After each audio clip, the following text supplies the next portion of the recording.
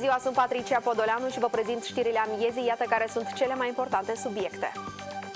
Tânăra profesoară în vârstă de 30 de ani și fiul său de 4 ani decedați în urma exploziei de sâmbătă sunt petrecuți astăzi pe ultimul drum.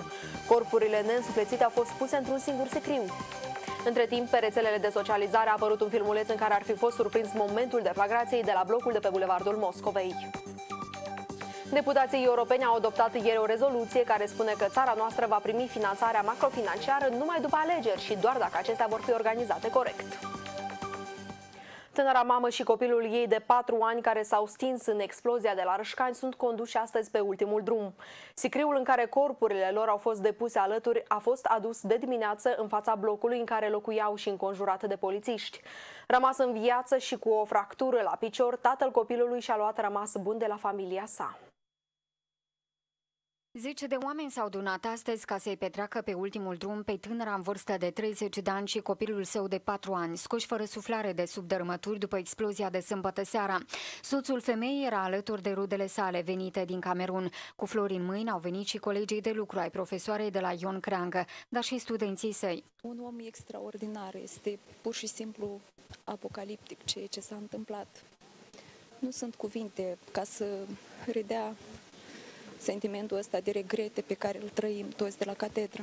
Avea niște ori interesante, captivante de fiecare dată. Vecinii spun că pe Olga o cunoșteau mulți dintre locatarii blocului și o respectau. A copilărit aici și avea de gând să-și trăiască viața alături de familia sa, tot aici. Fetele mele de multe ori dormeau la dânsa, acum am să zice noapte și lucra și fetele mele dormeau la dânsa. Pe urmă merge cu noi la mare, că mama ei avea zahăr și nu putea să să duc la mare și ne ruga să o luăm măcar noi. Avea o familie unită, era politicoasă și manierată, spun vecinii. Nici până acum nu pot să creadă că ea nu mai este în viață. Она была очень приятная девушка, всегда здоровалась, хорошая семья. Как все, имеет какие-то цели в жизни, будущее. Я мама ее подруги. И мы все время вместе проводили праздники. Lângă mulțime stăteau ambulanțe. De ajutorul medicilor a avut nevoie soțul femeii care a decedat. Noi sunt demnitați sedative. El are o incidentă traumă aceasta piciorului, dar în fine L-am întrebat, la moment piciorul nu, nu-l durea, e o cunoștință de familie, s-a ridicat tensiunea.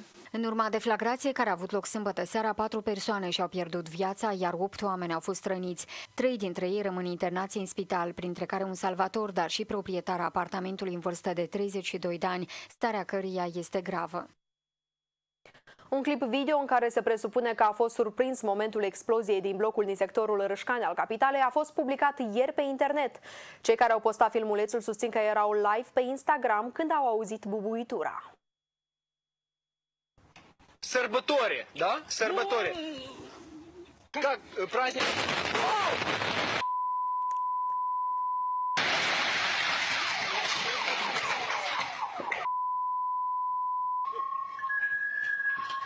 Ребята, только что в прямом эфире, я вам клянусь, раз, десятый этаж тут высотки. Bărbatul filma o bătrână cu care discuta despre sărbătoarea ziua vinului și transmitea în direct pe Instagram interviul. La un moment dat însă a răsunat deflagrația și pentru un moment s-a văzut și o lumină puternică. Patru persoane și-au pierdut viața, iar opt au fost rănite în urma deflagrației care s-a produs sâmbătă seara. Bubuitura a fost atât de puternică încât a distrus trei apartamente, iar bucăți de beton au fost aruncate la câțiva metri. În blocul de pe Bulevardul Moscovei a fost explozibil, scrie Euronews, care citează experți străini. Aceștia susțin că o deflagrație de asemenea proporții nu putea fi declanșată de o butelie de gaz. Geniștii noștri cred însă că la mijloc poate sta o scurgere de gaze. Euronews scrie într-un articol că explozia din sectorul Reșcan este una suspectă, asta pentru că distrugerile în urma deflagrației sunt devastatoare. Potrivit unor experți independenți, explozia ar fi putut fi provocată de o substanță explozibilă folosită la demolări și nu de o butelie de gaz, se scrie în articol. Geniștii noștri susțin însă că această versiune este puțin probabilă. Aș spune că putea fi folosită de substanță explozivă. A fost o scurgere probabil de gaz și s-a produs explozia respectivă dar trebuie să ținem cont și desigur de volumul care deșera de gaz în balon, cât de mare era balonul acesta. S-a umplut volumul apartamentului și mai departe deci putea să nimerească prin căile de ventilație din alte deci, apartamente. Dar nu trebuie de exclus și această variantă. Da. Potrivit specialiștilor de la noi, consecințele ar fi fost și mai grave dacă explozia s-ar fi produs la primele etaje ale blocului. Dacă era, de exemplu, explozia aceasta produsă, deci în etajul, nu știu, 1, 2, putea clădirea să scapă, în general. Distrugerea clădirii putea să fie mult mai mare. Versiunea preliminară anunțată de șeful Inspectoratului pentru Situație de Urgență chiar în noaptea tragediei este că gazul s-a scurs de la o butelie. Ulterior, bucății din aceasta au fost găsite în apartamentul de la etajul 14. Mihail Harabagiu a mai spus că o femeie le-ar fi declarat oamenilor legii că deflagrația s-a declanșat în momentul în care ea a prins lumina. Specialiștii urmează să efectueze o expertiză minuțioasă a locului respectiv pentru a stabili cauza exactă. Locatarii blocurilor care știu că vecinilor folosesc butelii de gaz trăiesc cu frica în sân. Președintele Asociației Protecția Consumatorilor spune că în clădirea în care locuiește sunt o mulțime de butelii și, deși a cerut de nenumărate ori autorităților să intervină, nu s-au luat măsuri. Primăria anunță că în fiecare sector va fi o comisie care va face verificări.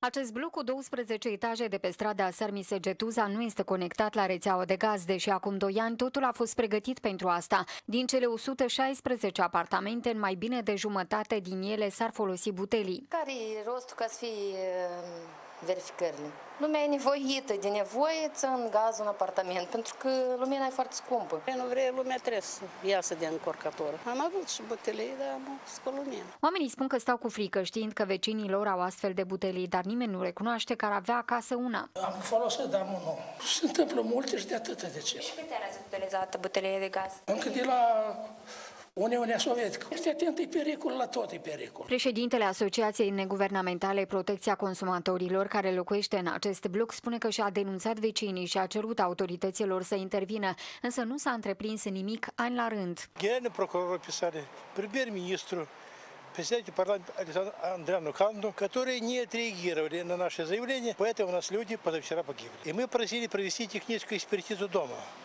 Tehnică expertiză не было. Toate butelii trebuie să fie standardizate și luate la evidență. Butelii se au în perioadă 30-40 de ani, nu mai fost verificate. Nu târziu de lichidat, dar atunci noi ne trezim în momentul acela când produce o tragedie. Așa este în Republica Moldova. Responsabilii de la întreprinderea fondului locativ care gestionează acest bloc și cele din vecinătate spun că primesc numeroase plângeri de la oameni care cer să fie luate măsuri în cazul celor care utilizează butelii de gaz.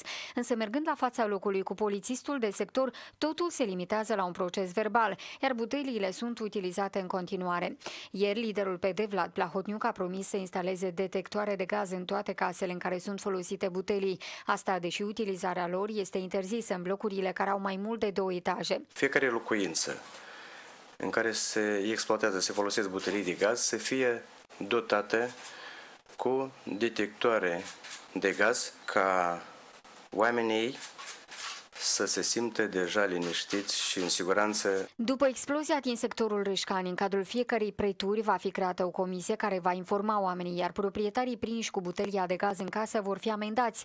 Șeful Direcției Locativ Comunale, Ion Burdiumov, spune că în ultimele zile oamenii au continuat să denunțe asemenea situații. În Chișinău există peste 100 de blocuri care nu sunt conectate la rețeaua de gaz. Autoritățile locale au și pornit în inspecții la blocurile de locuit unde sunt folosite butelii de gaz, fiind sesizate de către vecinii celor care au asemenea instalații. Colega noastră, Daniela Foc, și-a urmărit subiectul și ne spune mai multe. Daniela, bună ziua!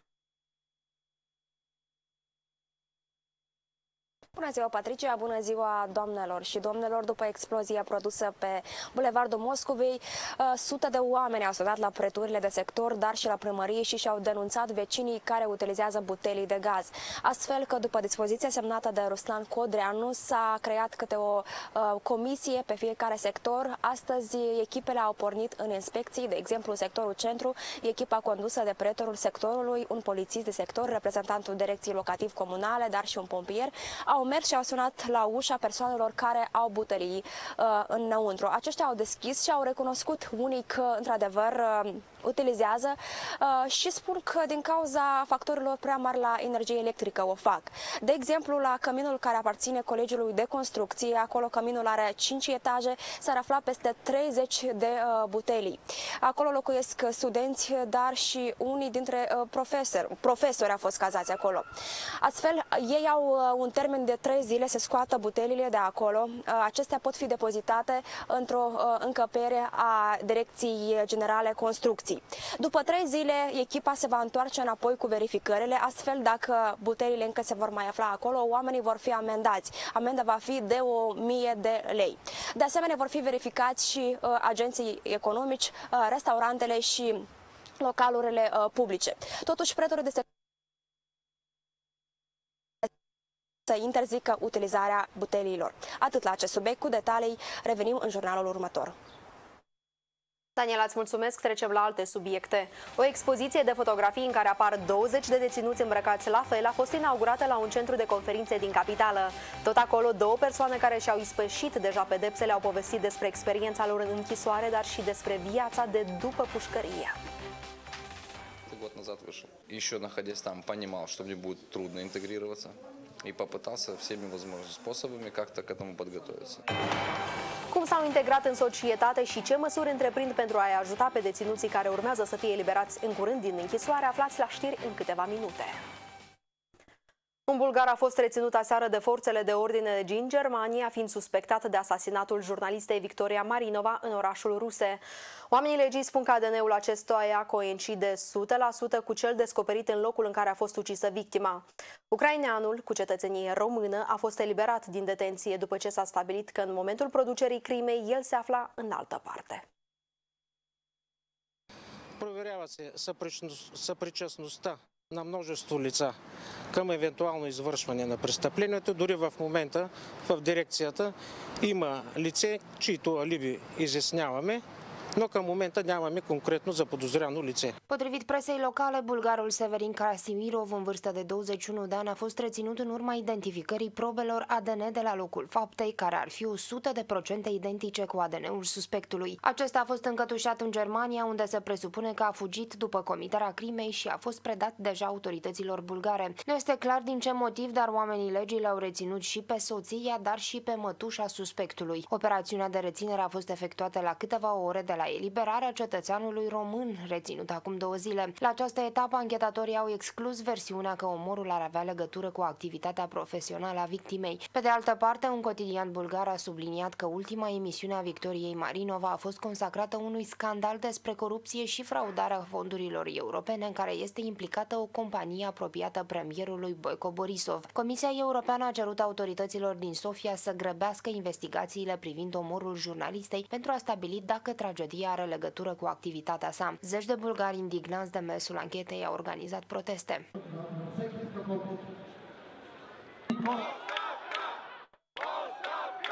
Victoria Marinova, mama unui copil de șase ani, a fost violată și ucisă cu bestialitate la sfârșitul săptămânii trecute, iar corpul neînsuflețit a fost găsit sâmbătă. Ea este al treilea ziarist de investigație asasinat într-o țară din UE în ultima perioadă, după o femeie din Malta și un bărbat din Slovacia. Un deținut de la penitenciarul 11 din Bălți, originar din Soroca, a fost găsit strangulat în celula sa în această dimineață. Potrivit oamenilor legii, pe cadavrul bărbatului în vârstă de 42 de ani nu au fost găsite urme de moarte violentă. Acesta a lăsat și un bilet de adio, conținutul căruia nu a fost făcut public, respectiv se presupune că acesta s-a sinucis. Totuși, cei de la Administrația Națională a Penitenciarelor susțin că victima nu ar fi prezentat un comportament agresiv sau depresiv pe durata executării pedepsei. El era condamnat la 30 de ani de închisoare. Pe cazul dat a fost pornită o anchetă internă care să stabilească cum s-a întâmplat totul. Decanul Facultății de Drept a Universității de Stat a fost reținut ieri de ofițerii CNA. El este suspectat de corupție la verificarea tezelor de doctorat. În același dosar a fost reținut și un avocat, fost apărător al expremierului Vlad Filat. Oamenii legii spun că după ce va expira termenul de 72 de ore vor cere mandate de arest pe numele celor doi.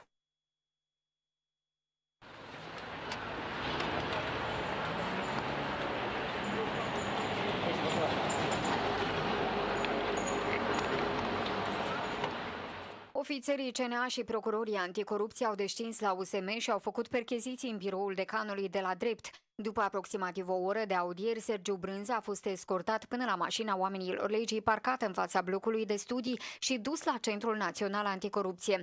Colegii săi de serviciu spun că nu înțeleg de ce acesta a fost reținut. Chiar nu știu și nu vreau să vă spun nimic. Chiar nu știu. Nu știu ce s-a De întâmplat. ce nu vreți să ne spuneți? De ce să vă spun? Că nu știu nimic. acuzat de canal? Nu știu. Se, se dă mită în facultate. Nu știu. Motivul anunțat anterior de CNA este că Sergiu Brânză este cercetat într-un dosar de corupere întrucât el era membrul unei comisii de evaluare a tezelor de doctorat. Un alt membru al acestei comisii, coordonator de teze, avocatul Viorel Berliba, care l-a apărat și pe Vlad Filat, a fost și el reținut. El este bănuit că ar fi oferit decanului Facultății de Drept în luna august curent mai multe sume de bani. Acesta ar fi acționat în interesul a doi doctoranzi. Între timp, studenții de la Facultatea de Drept spun că nu au auzit despre acte de corupție în instituție. Oferiți bani la profesor pentru anumite chestii? Nu, Niciodată? niciodată n să fac. Da, colegii tăi? Nici colegii mei. Învățăm drept doar că, nu? Dați bani la profesor pentru Nu. note? Nu.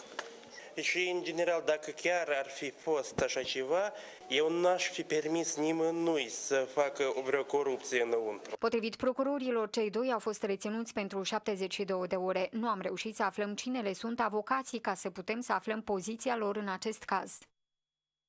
Banii europenilor vor ajunge în Moldova abia după alegeri și doar dacă scrutinul va fi organizat corect. Cel puțin asta este scris într-o rezoluție adoptată ieri în Parlamentul European. Deputații europeni le-au reproșat autorităților de la noi că nu întreprind măsuri pentru a combate fenomenul corupției și cel al spălării de bani. Aceștia se arată îngrijorați de faptul că Republica Moldova ar fi deviată de la standardele democratice și statul de drept, menționând că țara ar fi controlată de interese oligarhice. În consecință, finanțarea macrofinanciară rămâne suspendată până după alegeri. În același document se vorbește și despre Georgia, care, deși a semnat acordul de asociere în același an cu Moldova, stă mai bine ca noi la capitolul reforme. Guvernarea nu a reacționat deocamdată la aceste declarații. Foștii deținuți au dreptul la o viață normală. Cu acest mesaj, membrii unei asociații de la noi au inaugurat o expoziție de fotografii, în care apar 20 de pușcăriași îmbrăcați la fel. Inițiatorii proiectului au vrut să demonstreze prin asta că nu haina îl face pe om. Despre experiența din închisoare, dar și despre viața de după pușcărie ne-au povestit astăzi Andrei și Fiodor. Ambii au stat câte 15 ani după gratii, fiind condamnați pentru furt și escrocherie. Recunosc că după ce s-au văzut în libertate, le-a fost greu să se integreze în societate. Andrei este căsătorit și are o fată de 15 ani. Spune că ele îl fac mai puternic și îl încurajează. Год назад вышел. Еще находясь там, понимал, что мне будет trudно интегрироваться. И попытался всеми возможными способами как-то к этому подготовиться. Așa că în toți acești ani cât a stat în închisoare, a învățat cum să repare computere, iar acum ajută alți deținuți să se integreze în societate. На самом деле это очень трудно.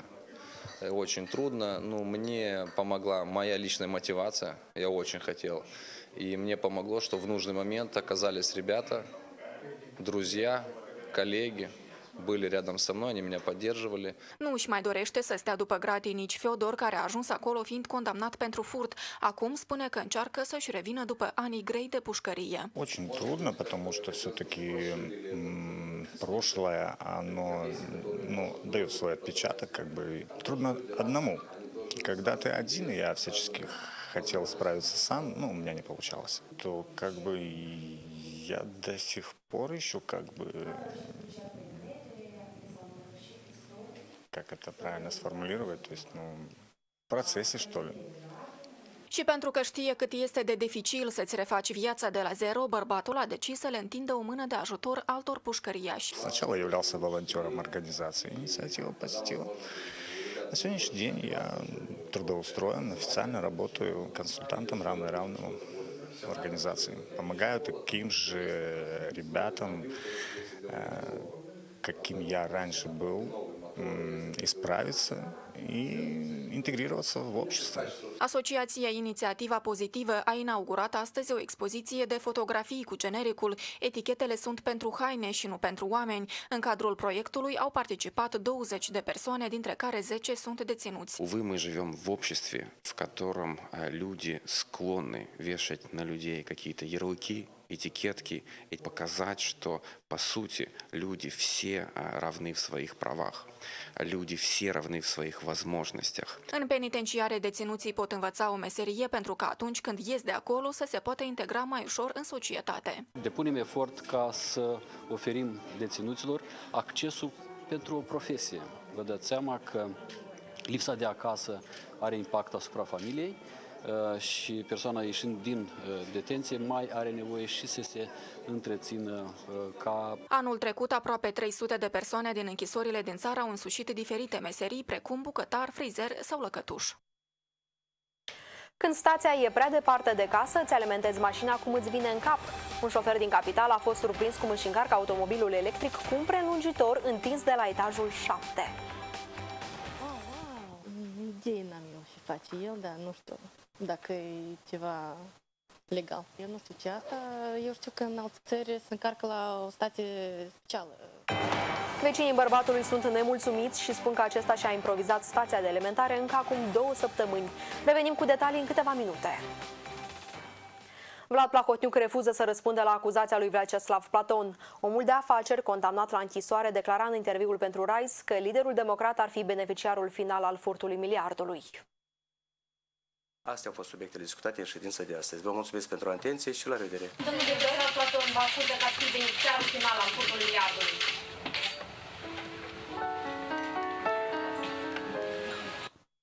Vyacheslav Platon mai spunea că arestul său a fost posibil după o înțelegere între Vlad Plahotniuc și Petru Poroșenko. El susținea că s-a împrietenit cu liderul PD prin 2005 la o întâlnire la care au participat Victor și Viorel Țopa.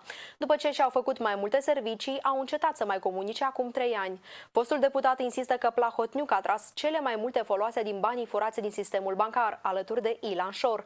Primarul de Orhei, la fel, nu a comentat aceste declarații. Democrații vor ca judecătorii să nu mai fie numiți de președinte, ci aleși de popor. Vlad Plahotniuc spune că va cere schimbarea Constituției în acest sens. Liderul PD a anunțat că la ședințele următoare va fi pusă la vot în legislativ și introducerea sintagmei de integrare europeană în legea supremă. Igor Dodon a și anunțat că nu va promulga legea dacă va fi votată. Partidul Democrat a pregătit un proiect de hotărâre a Parlamentului care însărcinează Comisia Juridică a Parlamentului să elaboreze un proiect de lege de modificare a Constituției care ar permite ca judecătorii de azi înainte să fie aleși de popor. Plahotniuc însă nu a explicat cum mai exact va arăta această procedură. În prezent, șeful statului numește magistrații de la judecătorii, dar și pe cei de la curțile de apel. Candidații sunt propuși de Consiliul Superior al Magistraturii și selectați prin concurs, inițial pentru un mandat de 5 ani, apoi până la atingerea plafonului de vârstă de 65 de ani. Liderii celorlalte fracțiuni din legislativ califică această idee drept una populistă.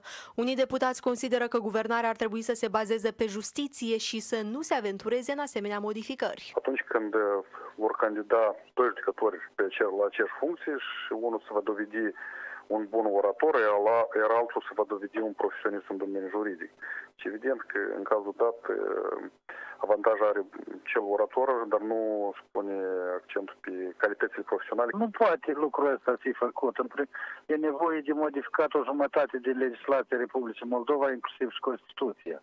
E pur și simplu un PR de prost gust, eu la zici, care nici, nici cum nu poate fi realizat. Noi nu trebuie să trăim după proiecte populiste. Noi trebuie să activăm conformitate cu standardele europene și nu trebuie să manipulăm lumea. Ba că integrarea europeană în Constituție, ba că judecătorii să fie aleși de popor. Nu am reușit să aflăm și părerea comuniștilor. De altfel, nici președintele Igor Dodon nu s-a pronunțat cu privire la acest subiect, dar a comentat ideea, amintită astăzi de democrați, de a introduce sintagma de integrare europeană în Constituție. Pentru votarea acestui, acestei legi nu există voturi suficiente, pentru că